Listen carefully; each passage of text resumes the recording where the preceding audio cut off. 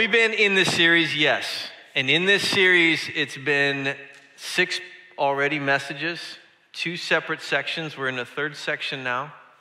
We're looking at our story, we're looking at the scriptures. How many of you know that the Bible is not a bunch of little stories that are all separated? It's really one whole story with a lot of different authors journeying man's history with God and the story of God in our lives. And so we've been looking at that. And so we started beginning this conversation about uh, fearless trust, looking at Abraham and talking about this partnership or this partner. God saying, I'm looking for partners on the earth. This is my plan. My plan is to bless people through you. So I'm choosing you, not because you bring anything to the table. I bring everything, you bring nothing but I'm just choosing you. Your name is Abraham. Okay. And I'm going to bless you. And you are going to be a blessing. And then we look at how God brings that about in Abram's life. And we just looked at three parts of that. But then after that, we talked about now how God was with this nation that came from Abraham called Israel as he led them out of bondage, out of slavery, out of Egypt, into the wilderness, into this space where they were going to need him every single day for everything. And we talked about this as a fearless provision or this how he provides, provider. And they were just learning. And he said, I'm going to test you here in this time. And the whole point is to draw you close. Why? Because you're on a journey. And your journey has a destination called the promised land. It's a place of promise, it's a place of limitless provision. It's a reality where all your needs are covered, they're available to you, and I'm leading you there. But before we get there, I've got to teach you how to trust me here. And if we learn to trust God in those seasons, those wilderness times where we don't know where provision is going to come from, we don't have extra anything. We can't go to Starbucks. We don't have extra clothing. We, we don't know if we're going to pay the bills. We move into those seasons where it's like, God, are you there? And He says, Yes, I am. I want to teach you to trust me. And so we looked at the lessons from those three encounters in the wilderness, and now we're moving into this promised land. Now it's finally time to go in. And there are lessons in the promised land just as there were lessons in the wilderness. There's testing when there's enough and plenty, just as there's testing when there isn't enough and there isn't plenty. Are you with me? Everything God's doing, by the way, is about this it's about the heart. And so I'm going to take you to two major books today they're both in the Old Testament. and We'll pepper in some New Testament scriptures. But if you want to open your Bibles, those of you online as well, to Deuteronomy chapter 8, there's two passages in Deuteronomy that we're going to look at. And then also put your finger or put your little red, your little tabby somewhere. Um, those of you who are like, I got my thing, you can look it up when we get there. In Malachi chapter 3. Malachi chapter 3. And I'll explain as we get to those books. But we're now looking at the promised land. They're about to go in. And they're on the precipice of going into this land. And in this place, in this place, in the wilderness, we ask the question can God be trusted? And that's what they were learning. Can I trust God every day or not? But in this promised land, we ask the question do I really need God? Do I really need God? By the way, it is a question asked today. In our cultural context, it's very, very relevant. Do I need God? Or what do I actually need God for? Like what areas? Is He an addition to my life in certain spaces? Does He help straighten my wife out when she needs it? Does He help my kids get online, on track? Does He fix my husband and all his issues? God, if you can do that, then yes, I need you. That's the question of the promised land. So, in the wilderness, we're talking about fearless trust. Our trust looks like fearless dependence. That's what we were talking about before. But now, as we move into the promised land, our trust looks like fearless generosity. Because you move into a space where there's water and bread and all that you need to the fill. The question is then, what do I do in that space? One, this fearless trust looks like dependence every day. Can I just say, God, you're enough for me? The other, generosity. What do I do with all that you've given?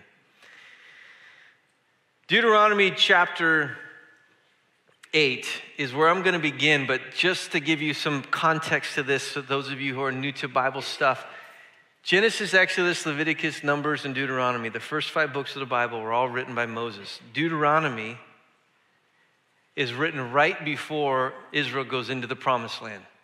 Now, Moses is the one God uses to lead them out, to lead them through the wilderness, 40 years they've been in the wilderness. They tried to go in once and they didn't trust God and they didn't make it in. They went back. Now, 40 years later, they're coming back to the edge. They're about to go into the promised land.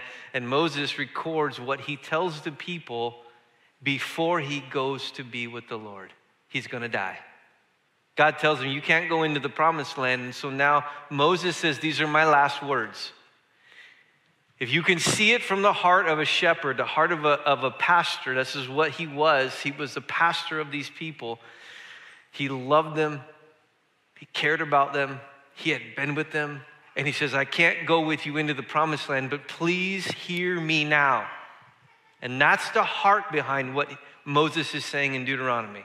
And that's the heart behind this right here in chapter 8. He's preparing them for what they're about to go into. And I want you to hear it, and then I'll break down only parts of it, and we'll keep moving. This is all still intro, just so you know. Moses says, So you shall keep the commandments of the Lord your God by walking in his ways and by fearing him. For the Lord your God is bringing you into a good land, a good season, a place like America, like the United States I just saying that out loud. You got to hear that for yourself. This is a unique place on planet Earth. Grateful to live here. Amen?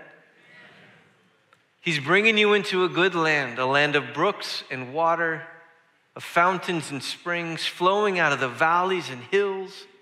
Imagine that. You're coming from a parched desert, and he's talking about flowing streams and valleys and, and, and rivers and, oh, come on, springs fountains, springs flowing out of the, the valleys and hills, the land of wheat and barley, of vines and fig trees and pomegranates, a land of olive trees and honey, a land in which you will eat bread without scarcity, in which you will lack nothing.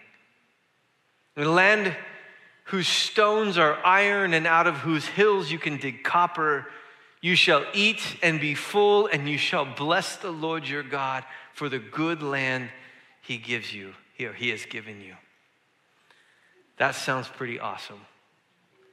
And if you're catching the story, remember this God intends to do you good only, always. It is no small thing, it's His delight to do you good. It is His delight to do you good. Do you hear me? He wants to see you thrive in every area of your life. That's why his ways are so important for us to walk in. So, here's the test take care, lest you forget the Lord, your God, by not keeping his commandments and his rules and his statutes, which I command you today. Lest when you have eaten and are full and have built good homes and live in them, and when your herds and flocks multiply, and your silver and gold is multiplied, and all you have is multiplied.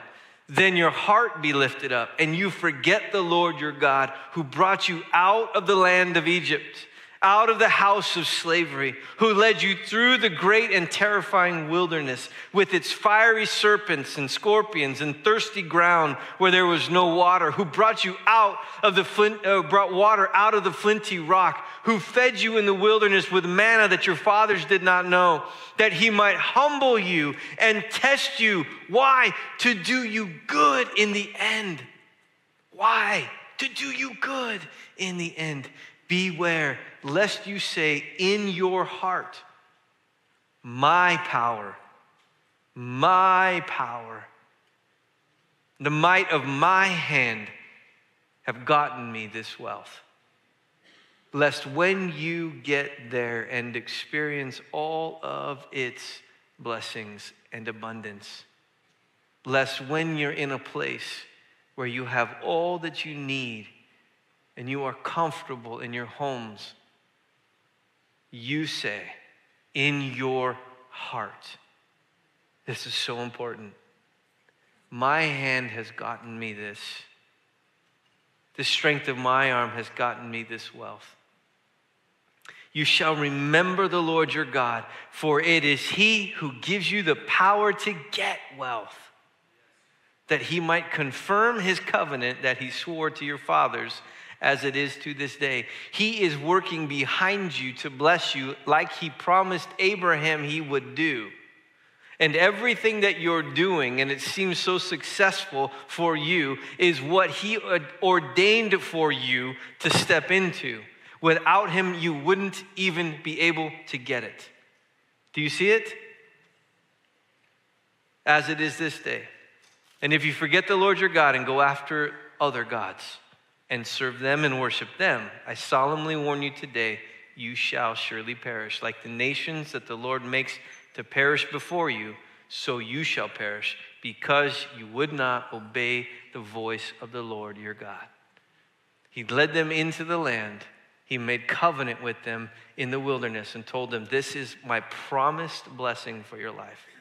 But along with the promised blessing comes a promised curse some of you getting a little afraid. Don't worry. We're going to get into the new covenant in a minute here. You're going to realize why it's a good covenant, why it's better, like the writer of Hebrews says. But there's also promised if you break covenant with me, you can expect X, Y, and Z. That is not pleasant to come. Why? Because the land is mine. He says it over and over in the Old. The land is mine. I'm giving it to you to steward but it's my land. So if you want to live here in this space, you've got to walk according to my ways. Otherwise, I'll remove you out of the land. But because I promised Abraham to give it to you and to your forefathers, I will bring you back to the land because that's just the kind of God that I am. Are you with me? This is what he's telling. So Moses is about to die and he sees them going in. You're about to hit it big in life. You're about to be successful. Your business is finally going to take off. You're going to graduate and you're going to get that dream job that you always wanted. You're going to get off to college finally and not have mom and dad around and you're going to live your life and it's going to be like soaring all of a sudden. Don't forget God. Not even for a season. Don't forget him. This is the heart of Moses. And so see that as we go through this. If you don't get the gospel of grace, grace, it is favor and blessing that we do not deserve. You catch this? Favor and blessing from God that we do not deserve. That means we can't earn it, we didn't earn it, we won't earn it. It's something we get that should blow our minds and go, You don't deserve this. And you go, Yes, I don't deserve this. That's why it's grace. The gospel of grace is what we talked about when we talked about Abraham. That God chose us not because we're strong or mighty or, or wise or whatever, but just because He did. He chose to love you. He chose to give you a hope in the future. He chose to come and actually die for you so you could have relationship and this inheritance He wants for you before you ever said yes to Him. He did it in faith, hoping you would say yes. He did it before in hopes that he could lavish on you, as Ephesians 1 and 2 tells us, lavish on you for all time his blessings. That's his delight and desire. If you don't catch the gospel of grace and find your story there, you will miss everything about any conversation talking about giving, especially talking about money. Are you with me? You talk about money, and it stirs up all kinds of weird, icky feelings. I'm going to talk about tithing and first fruits. And as we talk about these things, pay attention to what's going on in here. Because if you hear something and something pops up in you and it's just an icky feeling about tithing and giving or whatever, pay attention. It's one of two things. It is either that icky feeling that comes with legalism that says you're never doing enough God just wants more. Are you with me? I don't measure up. You're asking something of me that I don't, ah, I don't think I can do it. Pay attention to that. Because that's not how God speaks. And pay attention to the other that comes up when God's word begins to, to, to meddle a little bit with strongholds of a different spirit that wanted your loyalty in their life. Pay attention to those two things. Everything about this message says this giving is a response to the grace of God in your life and the degree to which you see your story through the lens of grace that has been extended to you, you can understand why we even give ever. Are you with me? This is about giving with joy. Can I help you understand this? There is no other kind of giving. Done. Giving with joy is the only kind of giving that is ever prescribed in Scripture. Giving out of duty doesn't exist in Scripture. Giving just because he said doesn't exist in Scripture. You won't find it in the Old Testament, you won't find it in the New Testament. Giving out of joy, you'll find it all through the Bible. Because it's the only kind of giving we were ever intended for. Are you with me? Are you sure? All right, that's why I get excited about this message, because if I can undo some weird wiring inside of any of you this morning that just goes when it comes to giving, then I feel like, yes, praise the Lord. I'm so excited for this message. So,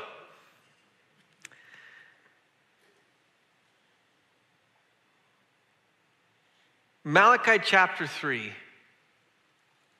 Malachi chapter 3 is where we're going to go. There's a, a passage about giving, which is important, but it's about the heart of this book and where it falls in line. If you understand this, Malachi is all about calling people back to revival. It's the last book of the Old Testament. So when you're Matthew, Mark, Luke, John, if you just go right before Matthew, you'll find Malachi in there. Last book of the Old Testament chronologically probably one of the last books written in the Old Testament. And it's written after Israel has already experienced the warnings that Moses said. Continue following with the Lord. Don't get comfortable in your stuff and then start thinking, I don't need God, and go chase other gods or relegate God out here to something lesser. They've done that. They've been dispossessed from the land.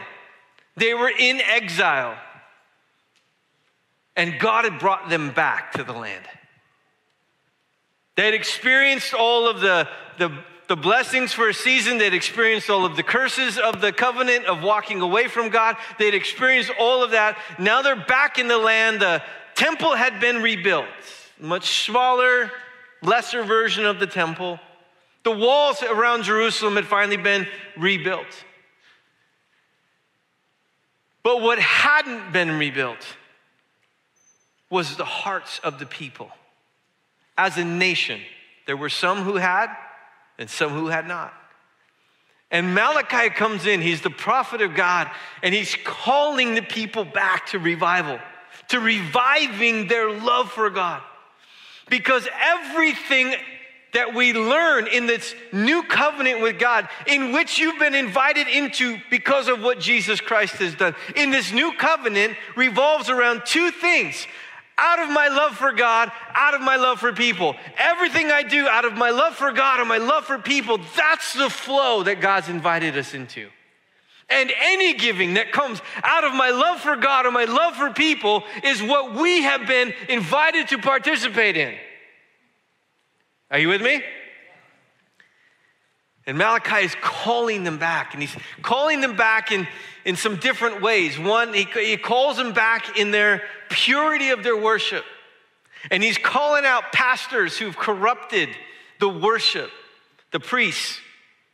He's calling out the people and bringing these lame little offerings of sick and lame animals and, and, and half doing certain things and, and just saying, like the heart of a father, he's going, does, it, does a father even deserve honor in his house?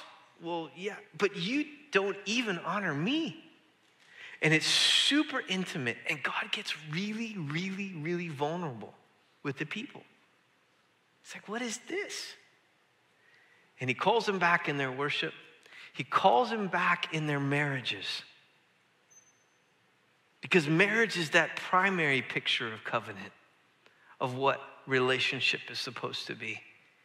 And he says, What are you doing here? How have we walked away? They said, Well, in your marriages, you're not faithful to each other anymore. Wasn't I present? Didn't I unite the two of you together with a portion of my spirit? How can you then fill your garments with violence and hate toward each other? Treat each other like trash.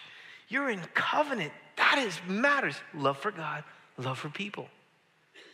And then this third way, he says, in your giving, in your offerings, in your tithes, he says, and your contributions, in this manner, going into the land, God established a way of giving. Twice a year, the people would give of their tithes. This is where tithing in the law part, the prescripted tithing comes from. When we talked about Abraham, tithing existed before the law. In Hebrews chapter 7, it exists now after the law. But during that time in the land, he did say, This is what you do. And twice a year, they would take the tithes of the people and they'd bring them into the storehouses, and it would provide for the priests, it would provide for the people, and it would even provide for the sojourners in the land. They cared about everybody that the land would know the or the, the effect of generosity, it would be seen and felt everywhere. It was beautiful. And then the third year, in the third year, they'd take another tithe of everything and bring it for the continuing feast that they would have when they had their prescribed feast. But not only that, there were contributions and there were sacrifices. There were the contributions of the, of the first fruits that they would bring. So the very first, uh, first crop, he says, is mine, belongs to me. The very first animal that would come from is mine. The very first, you name it, was mine. And the Lord said, The first of everything that you get is mine. Why? All of this was after the heart. So here in Malachi chapter 3, again, Malachi is calling people back to revival, reviving their heart for God. Three things we learn that giving reflects our heart, that giving makes a statement, and that giving makes a distinction. So, Malachi 3, giving reflects our heart. He says this For I, the Lord, do not change. Therefore, you, O children of Jacob, are not consumed. From the days of our fa- your fathers, you have turned aside and not uh, from my statutes and have not kept them. Return to me, and I will return to you, says the Lord of hosts. But you say, How shall we return? Will man rob God? Yet you're robbing me. But you say, How have we robbed you? In your tithes and contributions. You are cursed with a curse, for you're robbing me, the whole nation of you. Bring the full tithe into the storehouse, that there may be food in my house, and thereby Put me to the test, says the Lord of hosts. If I will not open the windows of heaven for you and pour down for you a blessing until there is no more need, I will rebuke the devourer for your sake so that you will not, it will not destroy the fruits of your soil and your wine. Your vine in the fields shall not fail to bear, says the Lord of hosts. Then all nations will call you blessed for you will be a land of delight, says the Lord of hosts. He begins by saying, in this third come back to me, he begins by saying, I, the Lord, do not change. The Lord doesn't change. The God of the Old Testament, just so you know, is the God of the New Testament. He has not changed. Our God hasn't changed. But what we have been invited into in this new covenant of grace is a better covenant. It's not that things in the old in the old covenant went away or were ever supposed to be disregarded anymore. In fact, when Jesus came onto the scene, you remember in the Sermon on the Mount, he says, You've heard it said, but I say. You've heard it said, but I say. And what he does is he elevates the law. He takes adultery. They say, Well, I didn't commit adultery. And he says, uh, Adultery is in the heart. Are you with me? He says, murder, I didn't murder anybody. He says, murder is in the heart. When you, when you want to say that to that person, and he says, listen, the law is not bad, the law is good. But I'm elevating the law to the status of you have no chance of ever keeping it. It's impossible for you to live perfectly before me, is what Jesus says. Instead, you need me. You need me, and that's what I'm coming to bring. I'm coming to bring a covenant that says, you bring nothing to the table. It's not two sided anymore, it's one sided. It's just me. Because you can't keep it. You're not good enough. Are you with me? He elevates it so much that none of us could go one day, God, you owe me. You ought to let me in. My good outweighs my bad. Listen, if we looked at our hearts, our bad outweighs everything. Are you kidding me? We just know smart enough not to say it most of the time. And he says, I'm, all right. I'm inviting you into a covenant where I took care of everything. But what I'm offering you is my righteousness so that you don't have to worry about your own. You get my righteousness, my forgiveness. You get what I've done for you. This is the new covenant, but in that, I've called you to this level of living, this live like me so that the nations around you, so that the people around you can see who I am through your life. You're still called to be a blessing. You're called to be a blessing. He says, I don't change, meaning you're still alive. That's the best way of understanding that. I, the Lord, do not change, therefore, you're still breathing. You're lucky. I have a plan for you, I have a purpose for you. I've not changed my mind from that plan. So they say, How do we return? Listen, that language is so intimate. How do I return? How, return to me? Return to me. Return to me. Come back. The God of the universe appealing with human beings? Give me a break. Come back. Come back to me. Well, how do we do that? What are you asking of us? It's all covenant language. In your tithes and in your contributions. There is always, and don't downplay this, a connection between our giving and our heart. We'd love to say there isn't. I can love God and never go to church. Baloney. I can love God and never give. Baloney. I can love God and, and just kind of, you know, not do certain things. It is our love for God that motivates all of our giving. Everything. It affects our hearts. I was listening to somebody talk about their differences between their boys and they have one son that's always a saver. It's a saver. He saved all the money, always saving. And then he met this girl that he married. And he said, I knew my son was smitten when he's talking to me about buying a coach purse and doing this and then spending all, he basically spending all his money on her. Why? Because our heart is tied. It is tied. Are you hearing me? It does matter. And God is saying, listen, I'm calling my people back to revival, back to a relationship with me, back to being on fire with me. I'm doing that. How do we get back? What do we do to come back? Just come back to what I've invited you into in your tithes and in your contributions. He said, a tenth of everything that you bring in, the increase, bring that in. And your first fruits from the fields and the flocks, bring it in.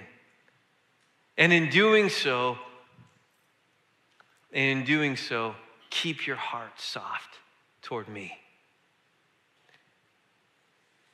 There's more I should say on this, but I can't. I will say this the beginning place. Tithes and offerings are just the training wheels of generosity. What you find in the New Testament is when the church comes alive, you find people whose hearts are so transformed by the grace of God that it's not about a percent anymore. It's just about, it's all yours, Lord. That's really how they live. But He invites us here. And so tithing is that 10%, it's just the training wheels. If you're going to live fearlessly generous, it's just the training wheels. That's what's my starting point. But from there, if it's coming from this place of my love for God and love for people, you'll find it will flow way more than that. Religion teaches us to give in order to get. So, what do I get out of this? But God invites his people here to just come taste and see. Taste and see. I love that he says, Test me. Why would he say, Test me? Is the only place in your entire Bible where God invites us to test him. It's a beginning place. So test me in this, the Lord says. I'm just, I'm good. I'm so after your heart, I'll take it. Just test, just start, just try. You tell me, you tell me if I can't take care of you. But come from this place of understanding your story. And that leads us into the second. Giving makes a statement. Giving makes a statement. It reflects our heart, but it also makes a statement. It was always intended to make a statement. It's supposed to be a statement that I make every time I give. Your words have been hard against me, says the Lord, but you say, How have we spoken against you? You have said, It is vain to serve God, it is pointless. Let's just put terms on this. It is pointless to be a Christian. It is pointless to do God's way. what's the value in this? What is the profit of keeping his charge or walking as in mourning before the Lord of hosts in a heart that's repentant, is what it's saying. And now we call the arrogant blessed. Evildoers not only prosper, but they put God to the test and they get away with it. Serving God is pointless, is what they're saying. This is what he's calling them. He's calling us out. Some of you, he's calling out. You, you might have felt this way. It's, all this Christian, it's all pointless stuff. I gotta go to church. I gotta. Listen, you don't got to do nothing. You don't. You don't have to do anything. God will love you regardless of what you do. If you give 10% or 2%, 1% or no percent, He's not going to love you more when you give 10 or 15%. You can't make Him love you more. You can't make Him love you less. He just loves you. He's crazy about you. He died for you. That's the gospel. That's the truth of it all. That's the heart of where it comes from. But he says, what do we get out of it? Why would they ask a question? That's what religion asks. Religion asks, What is in it for me? What's the benefit? What's the return on my investment? That's what it asks. And so if I do this, I ought to expect that from God.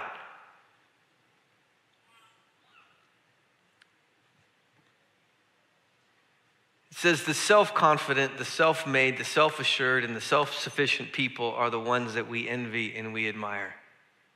The ones who live like we don't need God anymore. Those are the ones that we put on the stage. Those are the ones that we say, Whoa, aren't they blessed?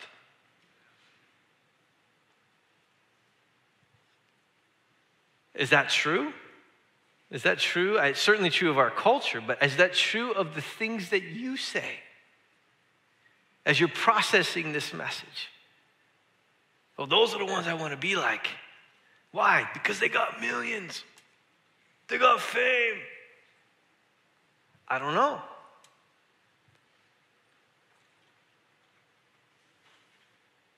He says, People who do much worse things than me seem to be getting away with it.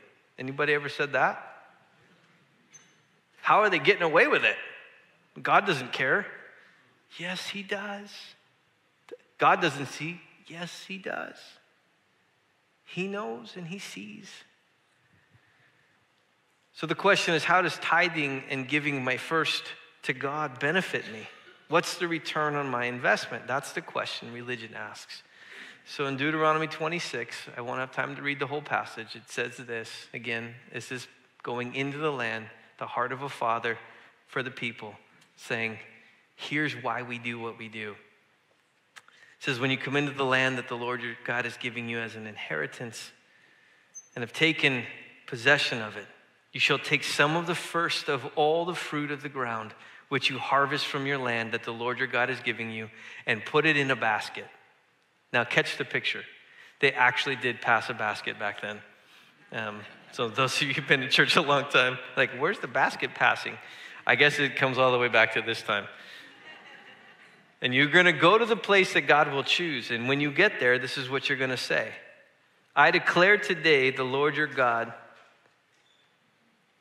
that I have come into the land that the Lord swore my fathers to give us. I make a declaration. I'm bringing my basket, my first fruits, and I'm making a statement. I declare today that God did what he said he would do. That God delivered me out of Egypt. That God brought me through seasons of wilderness. That God was faithful. I declare that God has brought me now to this place of understanding and experiencing his grace. And you shall make response before the Lord your God, verse 5. A wandering Aramean, speaking of Abraham, was my father. When he went down into Egypt and sojourned there, and we were few in number, and there he became a nation great and mighty and populous, and the Egyptians treated us harshly and humiliated us and laid on us hard labor. Then we cried to the Lord, the God of our fathers, and the Lord heard our voice and saw our affliction, our toil, and our oppression. And the Lord brought us out of Egypt with a mighty hand and an outstretched arm. And he brought us to this place. And I bring the first fruit from the ground of which, O Lord, you have given me. And you shall set it down before the Lord your God and worship there. And you shall rejoice, not only you, your house, the Levite, the, the, the, the priest, and the sojourner among you. Giving is meant to be a statement. When I bring it, my first fruits and my tithe, I bring it and I make a declaration. You did this in my life. My story is the story of the gospel of grace. You delivered me from sin. You brought me out of bondage to sin and slavery and bondage to Satan and his power or his claim on my life. You brought my family out of that fate and you brought us into a better place, this place, this place of promise. You brought us into a hope that is living, alive, that is still even yet to be fulfilled in the kingdom of God to come. You did this in my life. It's a statement. Do you see the picture?